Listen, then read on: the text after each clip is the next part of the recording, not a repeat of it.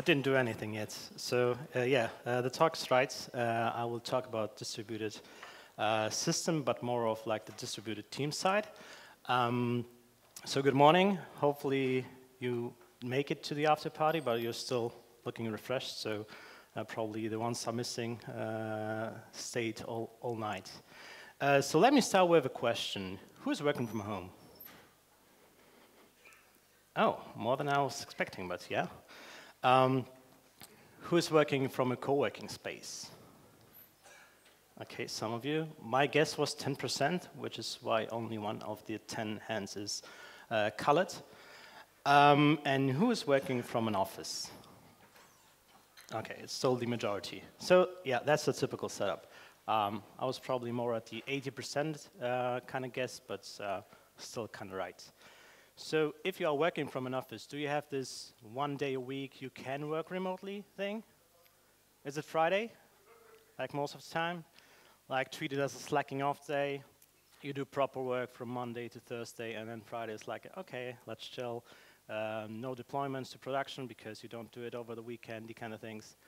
Um, so I worked previously at some uh, Polish startups. Uh, we were like um, pretty lucky with having a pretty good remote work policy, but I think it's not the average. Uh, definitely, these were still like office-based companies, so they had headquarters in Warsaw, and uh, the majority of people were working from that office. Only engineering was kind of like shifting towards, okay, maybe I can do the same thing remotely uh, and such. Um, I now work at Elastic, which is fully distributed, and I work only remote. Um, and I work actually from home. So you might have heard about us um, with the following products we have. So it was previously called the ELK. Um, now it's the Elasticsearch. Um, where we are the creators of Elasticsearch, Logstash, Kibana, um, and now also Beats. So that's why the name changed to not add the letters uh, to uh, to the abbreviation. And uh, we built distributed software. So Elasticsearch itself is uh, distributed by design. And uh, you, so you can basically add nodes to, to the cluster and uh, everything's working. But today, you had plenty of talks, even including Elastic, but other, and other technical talks. I wanted to go more into the uh, team side of things um, and focus on that part, basically. But still, if you have questions regarding our technology, we have a stand. Um, I'm here, uh, so free to, uh, to reach out uh, if you have any of technical th things. So let me start with this image. So this is our logo. Uh, you can even see it in the right uh, corner. Um, and it's not a flower, it's a cluster. So it's, it's meant to represent what we are doing as a company from our product side, but also like the team side. So it's like mixed, distributed, diverse, um, unstructured kind of thing. Uh, so that's how we also shape our products and, and the team itself. Um, so to, to, give you like a perspective of who we are, I wanted to share some numbers, like how many employees we have, how many countries we span, languages we speak, and time zones. And um, to be honest, it's not that easy to keep track of everything, because I was even thinking, okay, I could tell you 87 to everything. Um, because there are like every Monday there are new new people coming. People are moving between countries. Maybe that's not that frequent that they learn new languages, but still, time zones, countries, employees, that like changes over time. Um, but still, to give you some like idea of how that looks like, it's about that size. So we are now over 1,600 people, um, spread across 14, 40 countries speaking 30 different languages, and we have almost all the time zones. Uh, so, um, and I've changed the employees to elasticians, so we call ourselves uh, that way, like the Googlers at Google. Uh, so that's our naming. Um, yeah, and we're constantly hiring, so um, we are growing really fast, which is kind of easier in a distributed manner because you don't have to buy new office spaces. It's just home offices, as you will learn. We still do have offices. That's easier to track. So uh, we have uh, 27 offices by now. Um, and uh, the main purpose of these offices is for headquarters or sales and marketing. So it's not about engineering. So engineering is mostly, um, engineers are mostly working from home. So to give you an example, we don't have an office in Poland. So the closest one would be Berlin. Um, and in the Berlin area, we have like 30 people in the area of Berlin, and only two to four people go to an office actually, uh, because that's all right. Uh, they don't have to. And the reason why they don't go could be weather, could be commute, could be preferences, whatever. So it's there are like spaces you can join if you have some nearby, but you don't have to. So that's um, we we don't track it. Um, um, yeah, you can just work wherever you want. Um, and actually, we're distributed by design. Not our products, definitely, which were like the foundation is that they are distributed, have to um, scale horizontally, uh, but also the company. So it all started uh, with uh, these four founders um, who were actually in different cities and countries um, where they, when they started the company. So it was like Germany, um, Israel, the Netherlands. Uh, so they were all in different places. So they were e like kind of forced to work in a distributed manner and to use some of the tooling to make that even work because there was no like way of going let's go for a coffee and make some decisions or make decisions at the water cooler which is kind of like the ultimate spot where you make decisions at most companies um, from what I've seen. Um, so they weren't like able to do that the, the, the same kind of thing. So um, they had to email a lot, write things down, uh, agree, like have a consensus on things, um, and um, yeah, over communicate basically. So definitely it's an easier start for companies. So if you have a traditional company with headquarters in a single place and then want to shift towards like distributor or remote work, that is possible, but definitely dif more difficult than uh, starting remotely or starting distributed because um, yeah, it's just natural uh, for how we work. Um, and I use the term distributed many times, not only because of its software, but we also like the term distributed instead of remote, because there is no like remote kind of thing with satellite. We don't have, okay, we do have headquarters, but it's more of like the formal kind of thing. It's not like the decision-making process is happening in that office. It's like all, all over the place. Um, so there is no central, central place to make decisions, and uh, you can basically work from everywhere. You have to have internet, of course. Um, but yeah, um, that's that, that's the freedom of like of of your um, you have the choice basically. So as I mentioned, we have some offices. This is, for example, the London office uh, we have. And if you are based in London or have a different office nearby, you definitely can go there, especially if you like the office environment. Maybe you like the snacks, the ping pong table, and hopefully the coworkers. Uh, so yeah, if you have the office, then, then probably go there. Um, you don't have to be there like all the time, even if you have an office nearby. It could be one day a week or something. If you don't have a office nearby, or um, but still want to get out of home, or you can't really work from home, like home, your home, um, there are co-working spaces, right? Even in Warsaw, there are plenty of them. So um, you can still go to those places, and the company will pay that, uh, so the expenses, so it's not on you. Um, and the benefit would be probably still that you have people around, you have all the goods like snacks, a ping pong table probably, uh, and such. Um, sometimes even co-workers, if there are like popular cities, you can even, you know, have a colleague or uh, in the same city and work in the same co-working space. But that's up to you, basically.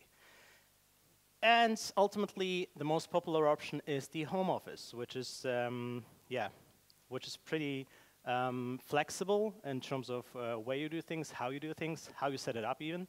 Uh, so if you don't have an office nearby, or you don't want to go to a co-working space, or don't have one nearby because some people just live in small cities and you don't have like uh, co-working spaces around, or for whatever reason, you have a family, um, yeah, it could be plenty of, of things. Uh, so you can then have an home office. And also the company will provide you with uh, a setup so you can get a proper chair, a proper desk, and everything you need, basically a monitor, uh, laptop obviously, and, and such. So um, Elastic will also provide you with some money to, to get it up and running. Um, and that's actually my home office, so that's my setup. Um, so a desk uh, in some of the bedrooms um, where I live. But sometimes my home office looks like this. So this is uh, a summer house where I was. Uh, we have good internet connectivity in Poland, so that's possible to, to do. So it was like a mobile plan. Um, and sometimes it looks like this. So I was even working directly from a beach, which sometimes make my colleagues jealous because they, you know, they were in the city. I was like having um, the sea in the background so while talking to them. But still, if I uh, kind of like would hide that, um, it, it, would still be cool. And the coverage, as I said, is also good, especially in Poland, so uh, I was lucky with that. And last but not least, uh, also Greece this summer, so plenty of options. Nobody cares really, nobody knows. I don't have to say to anybody, okay, I will be in that place. Um, it's more of like the background, as I mentioned, that people recognize, okay, oh, you're in, different, uh, in a different place. Yeah, I am, but that's, that's, uh, that's the story. So there are some difficulties. So especially when you start uh, working uh, remotely, um, it's your first day, and what do you do? So you sit on your desk in your apartment, and how would you start? So to make that experience a bit easier for you, we have a, a thing called X-School, which is basically our onboarding process. So what we do is uh, we bring um, all the new joiners together. Um, we bring them to our headquarters, actually, in Mountain View, um, because it's the, the, biggest office we have, and also, uh, on average, the most management is based there. But uh, as I said, they're also like in different places, but uh, the density is, is bigger in that place. So you can meet the people, right? The, the founders, uh, the VPs, and such. Um, we, we do this every month, so that's a group. I'm somewhere here. Um, that's a group of 140 people uh, that were joining uh, with me uh, in that month, uh, so it was pretty huge. Um, it's a week-long event, so you learn about all things that, from my engineering perspective, it could be also sales, finances, marketing, and such, and the other way around, right? So people working in sales will um, learn about how engineering works and all the things, our products. Uh, we also do some volunteering at that time, some sightseeing, fun day, and also hanging around, because that's also one of the purposes especially as we are working from home, are most of the time isolated, we also try to have some opportunities to uh, meet people at the company. Um, so that's one of the activities. And at the very bottom of that picture, you can see a, big heart. Uh, that's called the elastic heart. Um, and where did this come from? So it was an email um, from Shay, which, uh, who's our CEO, uh, he wrote it to everybody, uh, so that's the all prefix. And he just said, I love you all. Okay, and that's then in the body of that message is, that's it. I just wanted you to know.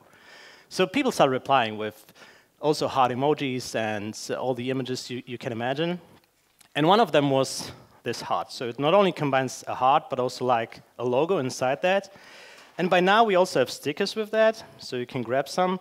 But these things just happen. So um, we, we, we send a lot of emails. Some are very um, yeah, spontaneous, I would say, and that's one of them. Um, so um, this definitely took more effort. So uh, Michał, our creative director, had to combine uh, the logo with the heart shape. Um, but yeah, it was it's it's it's kind of still alive. And not only the uh, the sticker is alive, the thread is still alive. So it's uh, over three years now. And there is a recent post a couple of days ago uh, where somebody, again, sends like this one, right? So just saying, okay, I love you. So I, I talked about like getting together. Um, engineering especially works like most of engineering works remotely and from home. So we don't see each other like um, in person uh, very often. But we try to still do that um, at like every six months. So what we do is we have a thing called engineering all hands, where we bring all the engineers in one place, um, so we can spend some time together. And it's like um, team time, but also cross-team time and fun days, uh, just to hang around, having dinner, having lunch together, uh, basically uh, doing all the things we couldn't have done uh, over the internet. And uh, this is from like two weeks ago. Um, we were, everybody was uh, from engineering was in Toronto. Uh, so we had to fly everybody in in Toronto uh, in a single place. We also tried to do it as a single hotel where the venue is, so everything is happening in a single place. Um, and even the photo is in the shape of a heart, if you can see that. So again, the elastic heart is here. Um, and uh, yeah, so it was a good time. Engineering all hands is not only engineers, so marketing will also join us. Uh, HR will join us because we work closely with each other. So it's um, it's then only that, for example, sales has a separate, let's say, gathering. So they do it more of tied to the financial years, um, and it's pretty a different vibe at these like uh, they call it the sales kickoff. Um, so we do it like separate for engineering, sales, and also support does a separate thing because they just have to. So whenever support is uh, going to an event like that, engineering has to take over support for a week, and then we do the shift once again. But that's also good, like test to see if we are able to run it, um, and uh, it's a lot of fun. Um, so again, elastic heart in here. Um, but sometimes we also want to meet everybody. So we do the global all hands, where everybody from every department is getting together. This one is from Orlando in May earlier this year. It's about 1,400 people in a single place. I haven't counted, but yeah, these were the numbers. Um, so this one was uh, in Orlando, Florida. Um, because it was just difficult to get a place uh, so big to not only run the venue, which is kind of possible, but also that everybody, everybody gets a room at the same place. So that was one of the few options we got. So as I said, we do it like every six months. So the next uh, will be, again, like May, and it will be a global all hands. So we have to bring like, by then, probably like 2,000 people together uh, in a single place. So I don't know um, how the logistics looks like, but it looks complicated. But still, we do that to hang around. Um, in global all hands, we, we, mostly also have like uh, some updates on the company level, but then also team time, cross-team time, kind of like an internal venue like we have today to speak about topics that we cover on a day-to-day, -day, uh, to do some talks and, uh, yeah, have discussions. So the last uh, one I will mention is also volunteering time off. That's yet another opportunity where you can spend time together. You don't have to do it in the team, but many people do. So we get like um, five days a year to do some volunteering. Um, the company will pay for that. So this one is, I don't know where exactly, but they were like building a house for a family. Um, so that's again, so all the blue t-shirts, so these are helper nodes uh, from the cluster naming. Had uh, helped to build that house, basically. So that's yet another option. So um, the things we do and the things we uh, we we also like want to celebrate. Uh, we uh, and the things so how we work and who we are, and basically what makes Elastic Elastics. We call it our source code. So we have written it down, and uh, I want to share some of these. Um, so one is home dinner. Um, so this one is about like I said, we had like so many people and so many countries and so many time zones. So um, and there is a thing term like work-life balance. So it's more about in that direction, but it's really meaning that if you want to be home for dinner, you can, right? So you don't have to be in meetings. If you want to uh, play with your kids in the in the middle of the day, that's totally fine. You want to go out for um, on a bike or run midday, that's cool. Just um, if you want to like make sure no, nobody will schedule a meeting in that time, just place something in your calendar so you say it's blocked. Um, don't uh, don't count on me on that meeting. So it's totally fine to spend your time uh, how you want uh, how how you wanted to structure your day, basically, and it's mostly about priorities, right? So if family hopefully is priority for you, uh, you are free to um, set it up that it works for you, and then only um, combine it with uh, your company efforts. Yet another thing is space-time. So um, this is one we have it's like it's one week uh, per quarter. You can just take off from your regular schedule and do things whatever, basically. So you can, it could be a side project you, or a feature you wanted to work on but has like low priority on the roadmap. It could be like learning a new skill or even a new language if you want to. So for example, I want to play around with Go or uh, a bit of Notes, and that's possible. So I can take a week off and just play around. Uh, the outcome doesn't have to be a project. It doesn't even a feature. Some of them really are then features on our, in our product uh, by now, but uh, it's not the rule, right? So it, it, could be, as I said, learning a new skill or basically doing anything for a week. Um, basically, we, we trust uh, our employees, and sometimes they, they just summarize it with a short demo, like 30 minutes, explaining what they did during the week, but that's it. So there's no like, you know, real outcome of that if you don't have it. Um, okay, that's the next thing would be it depends. So that would also be the answer to that one, but I will just explain this in a bit.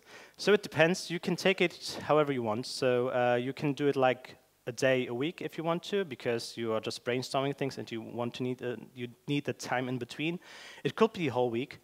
Uh, basically, we, we take it like more of like if you want to have a good timing, you take it more like uh, PTO or VTO, right? So time off where you, okay, you don't want to hurt the team um, performance, but um, you're free to take it. So whatever works for you. I can't even imagine it could be like two hours a day for a week and then five weeks. I don't know. So you, it just has to sum up to, to a week, and that's. Yeah, it is elastic. Yeah, yeah, definitely. Uh, and the rules also said let's keep it to one week for now.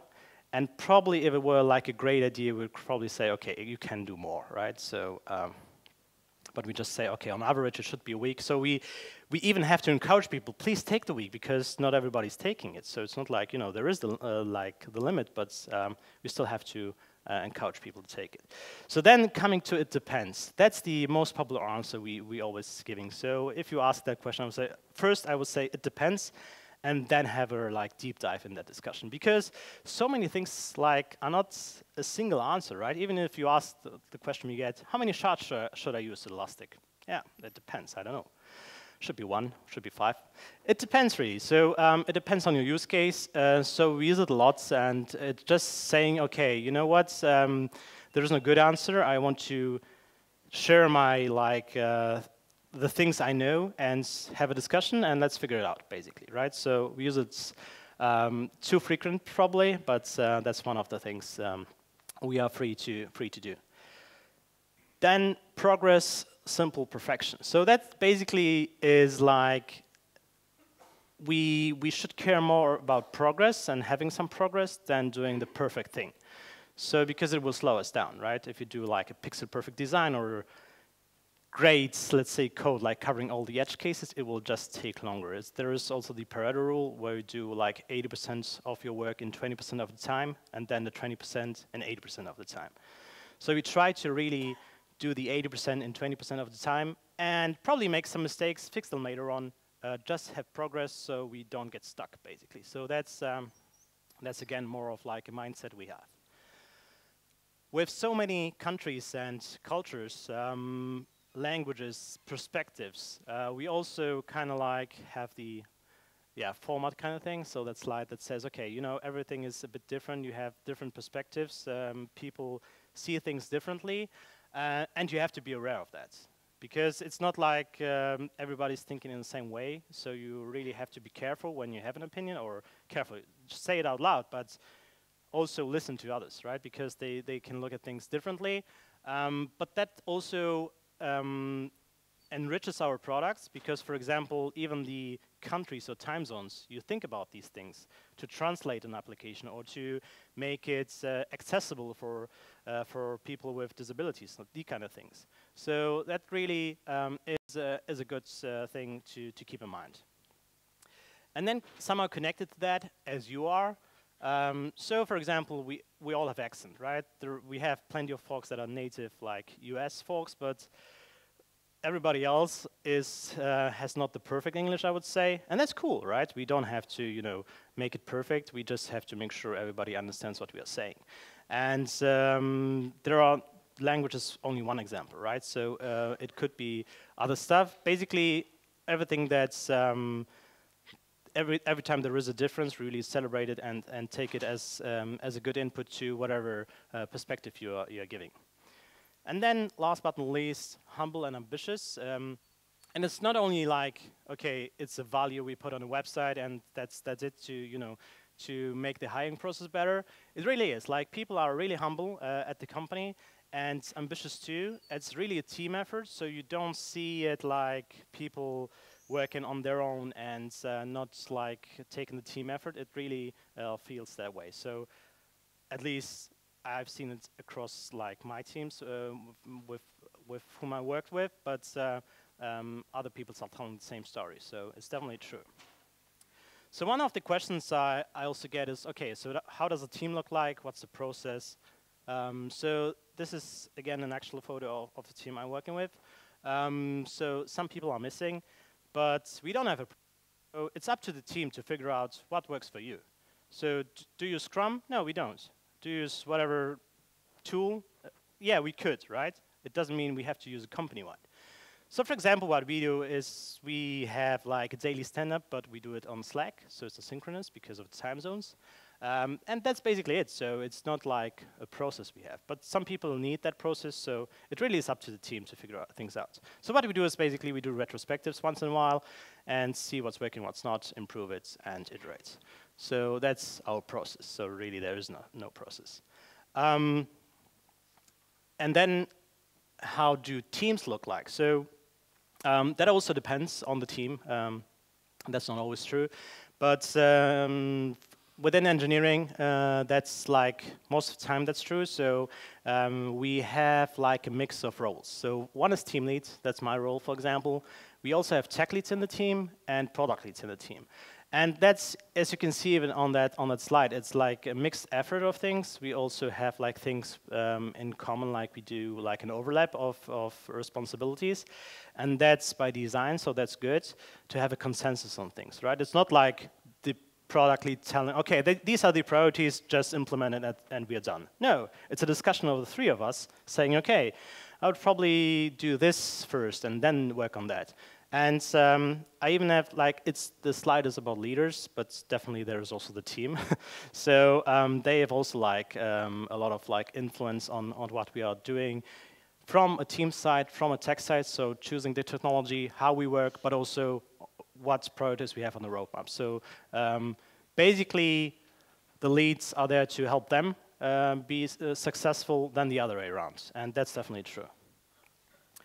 So then meetings. How many meetings do you have? Like most of people say, okay, I'm always in, in meetings and I don't have to time for do real work. Um, so we try to limit the amount of meetings we have. So from my team's perspective and an engineering perspective, uh, this comes down to a weekly planning meeting, which takes 50 minutes. Uh, we do it um, synchronously over Zoom. Uh, then a one-on-one, -on -one, because we are remotely, we have to talk to each other quite some time. So it could be a weekly one-on-one, -on -one, it could be bi-weekly one-on-one, whatever works for you. I try to be between a weekly or bi-weekly kind of thing to, to have like a constant feedback loop uh, on both sides, right? And then we also have to uh, add some team time. So for example, we put in, in our calendar an hour where everybody is free to join. We just have a chat off topic. We talk about cats, dogs, whatever, right? So uh, just hang around and uh, you're not, that's totally optional. So if, if you like, you can come. If not, that's totally fine. And uh, the last meeting is not recorded. So, oh, the one-on-one -on -one also not. So yeah. Um, so it's, uh, it's free to, uh, to be not there. There are also like uh, meetings across um, engineering, like the entire engineering, which is now at a thousand people, um, demo days, and company all hands, which is for everybody. Um, again, these are more like um, every four weeks. I think in, in, terms of all these listed here, there are others. But these are basically in the calendar, and the bigger the meeting gets, the more the more you cannot go, right? Because it will be recorded, so you don't have to be on the spot unless you have a question or want to be up, up, to, up to date. But uh, yeah, you can just join, um, but you don't have to. So going to how we work again is like more, um, especially on the product side, like uh, our tooling. We have a so-called release train. Have you heard about this term? Uh, so it basically means uh, we have a phase of development then we have feature freeze, where we don't, uh, we, we can't really ship any, any more features. We just have then a phase of uh, quality assurance, where we try to fix every bug we have spotted. And then the release, so basically everything after feature freeze go to the next release. And that's how we iterate. So it's kind of like pretty straightforward. And it's totally fine to not ship a feature. If you're not 100% sure it's like, um, it, it's working and it could break something, just wait for the next train, right? So you don't squeeze it in just the day before feature freeze, it's totally fine to not ship anything. That's also why we don't have a public roadmap, because we don't want to commit to a feature, then they start the business process, and then we would then say, okay, sorry, that feature didn't make it. Uh, so we try to be do it the other way around, right? Surprise you with the features uh, we are shipping, and there is a ton of them. And as I said, we have like a roughly six-week release cycle. So if it doesn't make it now, it will be there in six weeks. So um, still easy. And then we also use the semantic versioning. So um, major, minor, and patches. Patches obviously for bug fixes whenever, yeah, there are some bugs, so we have to patch them. Uh, minor releases, uh, which is most of the time where we're just adding features. We don't do any BC breaks, so you can um, upgrade every time there is a new release.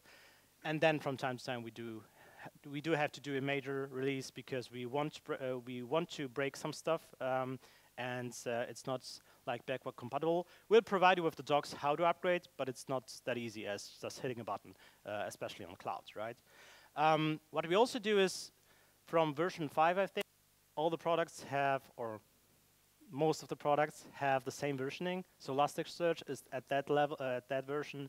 Kibana is at that uh, at that version, and uh, all the beats and such. So it's easier to know what's working with uh, what's, uh, yeah, in terms of like comp compatibility.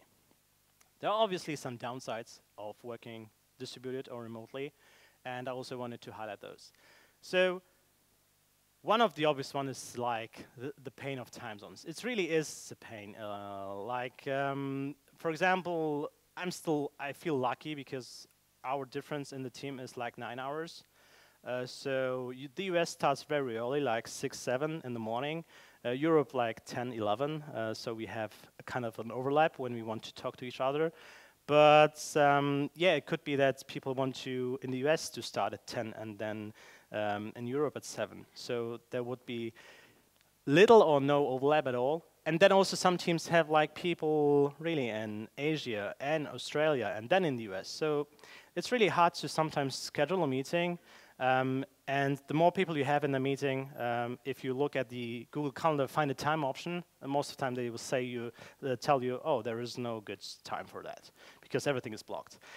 So you kind of have to deal with that. Uh, so what we do instead, we try to uh, basically do whatever we can asynchronously over email um, to or over Google Docs um, to to work on these kind of things. But that's definitely a problem. So uh, that's also why we limited the meeting, the planning meeting, to only a single one, so everybody knows. Okay, I have to be there uh, for these 15 minutes a week but that's it, right? For example, all the one-on-ones um, I'm running uh, are mostly like good for the folks that are in that time zone, right? So I do it like 9, uh, 9, 9 a.m., but also 9 p.m. because of the time zones. But that's cool. Um, then communication can fail.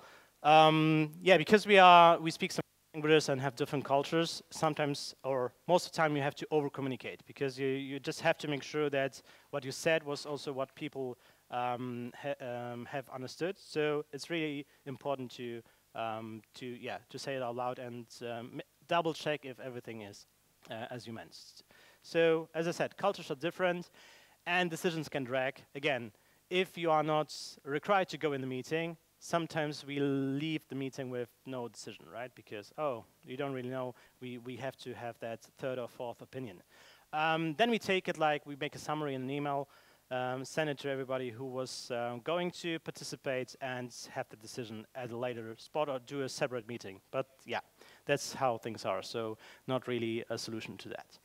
So in terms of tooling, we use Slack a lot. So Slack is our synchronous tool, all right? So um, who's using Slack? Okay, who's not using Slack? Would be easier, okay. so almost everybody, right? So, and probably if not Slack, then a different tool. Um, so it's, it's definitely easier than writing an email because it just takes so much time. And, um, and we try also to uh, have the office kind of feeling with a water cooler channel. So the water cooler channel is uh, so your auto assigns uh, for every employee. So there are just random discussions and uh, a lot of like cat and dog pics. Um, but then also we have a lot of public channels. So are, everything is open by, by default. So you, are, you can join whatever channel you want uh, and also create channels.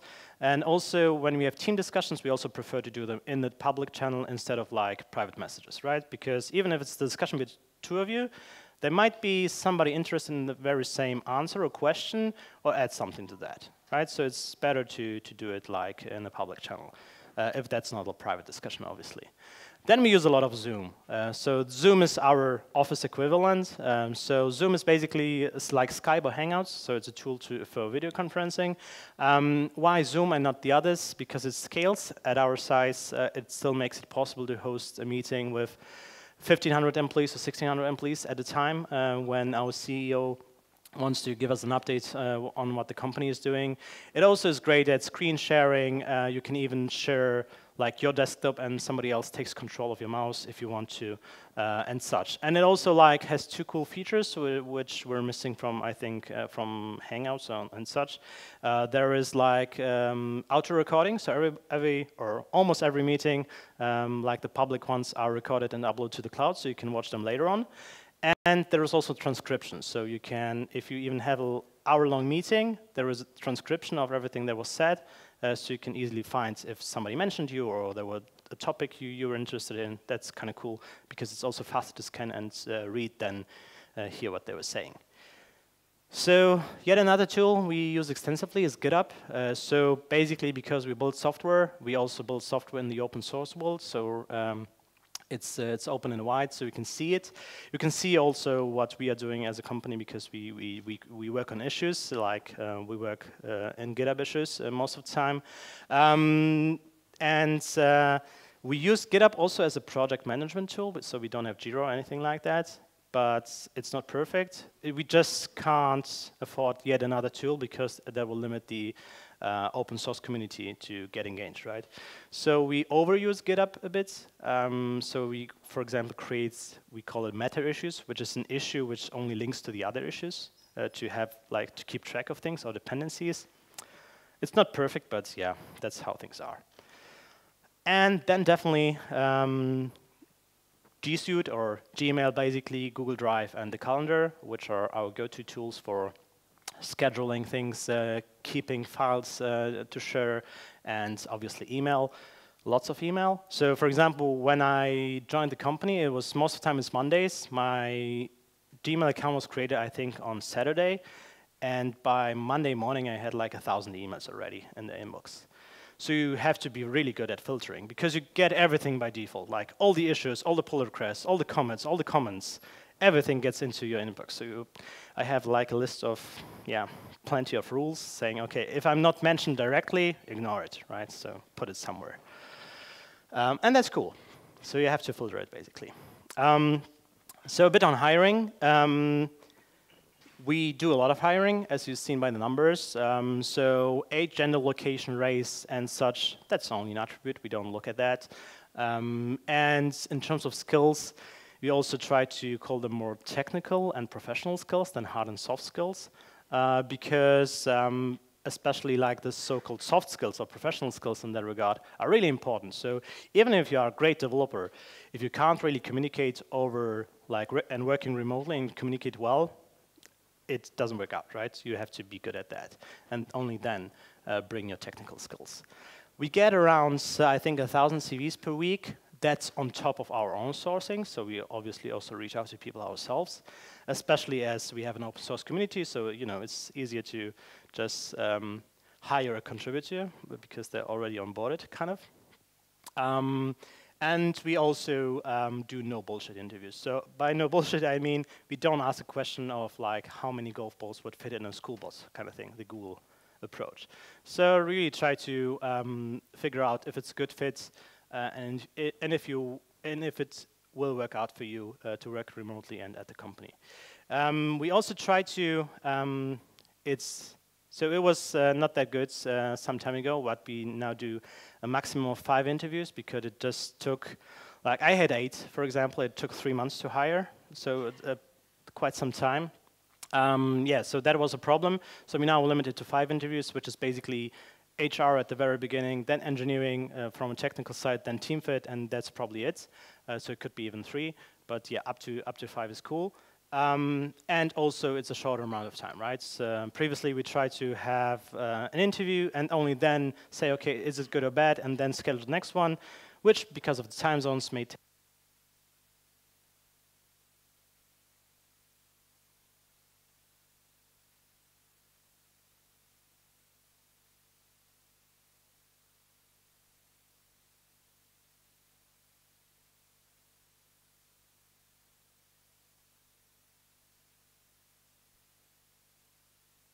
Okay, okay, it works. Okay, uh, so let's continue. So um, yeah, that's our hiring. In terms of numbers and how we how you've grown, it's like it took us uh, from 500 to 600 five months, then from 600 to 703, and later on two, and probably now it's, uh, it's even faster. So again, what are these numbers saying? Is it good or bad? So again, these could say 87 is it good or bad. But I think the indicator would be how many arrivals we have. So for example, that's one, one sample, 130 arrivals and only 9 departures. Uh, being like a company decision or the, the decision of that individual. Uh, so I think it's pretty good. So who wants to work from an office? And who wants to work from home? Okay. I think I have seen new hands. Like previously, there were people like saying, "Okay, I don't work from home," but you now want to, so that's cool. Uh, we are not the only company uh, working remotely, right? So uh, even if you don't want to uh, join Elastic, uh, see all the other options. I think that's uh, really awesome. And as we have five minutes left, I'm happy to take some questions.